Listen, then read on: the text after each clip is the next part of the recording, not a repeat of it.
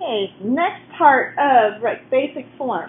So, on to the next page. We did rectangular prisms already on the first page. Now we're going to go to the back side of that.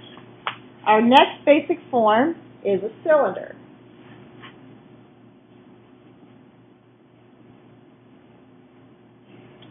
A cylinder is a can, a trash can, a soda can, a bottle, a vase, a mug, a cup. Those are all all cylinders. So, the steps to a cylinder.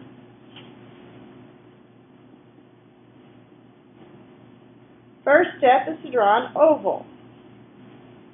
So, when you go to do your oval, I like to do nice short strokes so I get it a little more rounded. Try to draw lightly. I'm drawing heavier so you can see it on the camera. So that's your first step.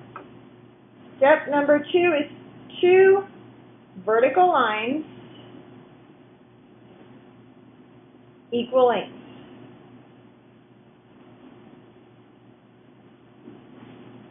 So I have my oval.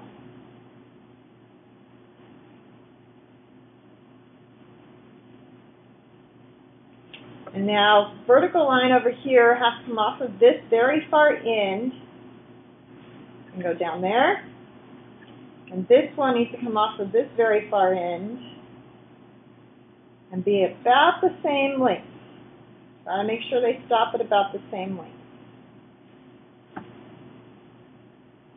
Step three is to draw a half of an oval. A half oval. So I go back to my oval first.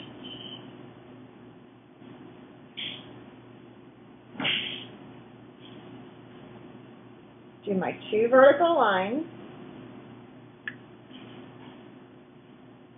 Now, I'm going to add a half an oval at the bottom.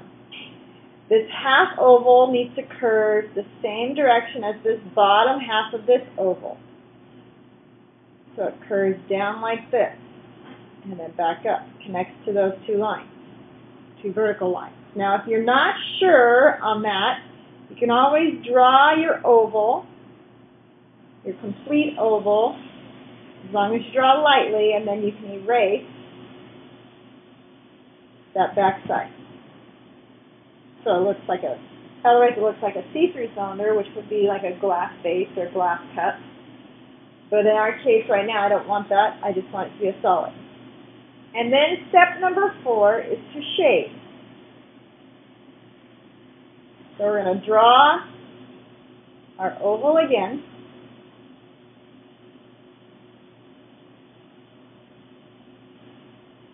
Vertical line, vertical line, bottom half of our oval. So it curves down because the cylinder isn't flat on the bottom. It has a little curve to that side, so I'm going to make it curved. I didn't get that quite curved enough, so I'm going to do that over a little bit again. Notice I'm not erasing. Then my light is coming from the above right. I'm doing that consistently with the rectangular, as with the rectangular prisms, just so you get the idea. Again, if you want to flip it around, then you can't. So this top is going to be very light. Very lightly shaded in. If you want to smear it, you can smear it. Um, you can take your eraser if you get too dark and lighten it in areas.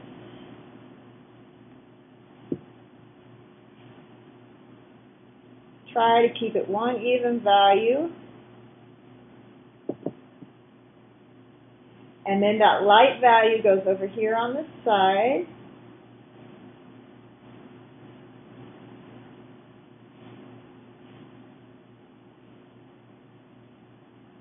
This is going to be a light.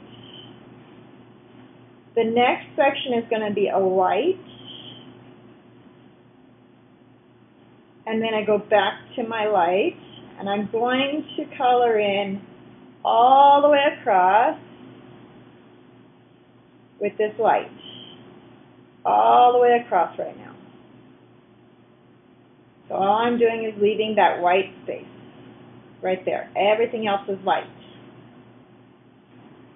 My next section is a medium.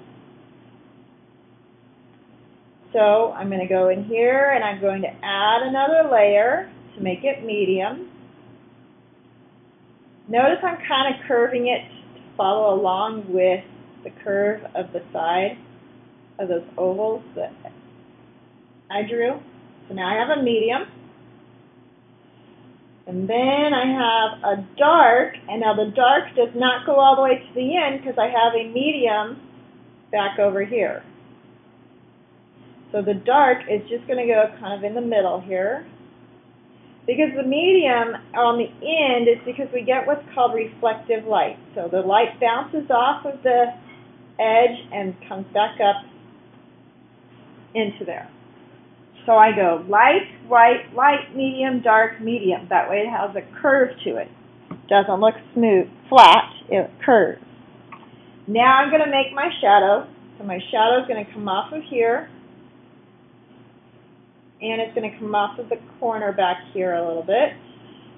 And it's going to have a little curve to it up here because it's hitting this curve right here. And remember your shadow is your darkest thing.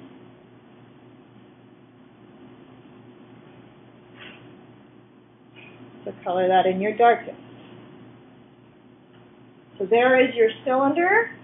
Again, you can do uh, the light coming from the other direction, just flip everything around. Or you can lay it on its side, like this, and just make sure your shadow would go down here then instead. And the light coming from this way if you have this end over here showing and the light's coming from the above right, then this is going to be darkest. If you have it flipped around this way and your light's coming this way, then this will be lightest. Okay, so there is your cylinder, different ways to draw it.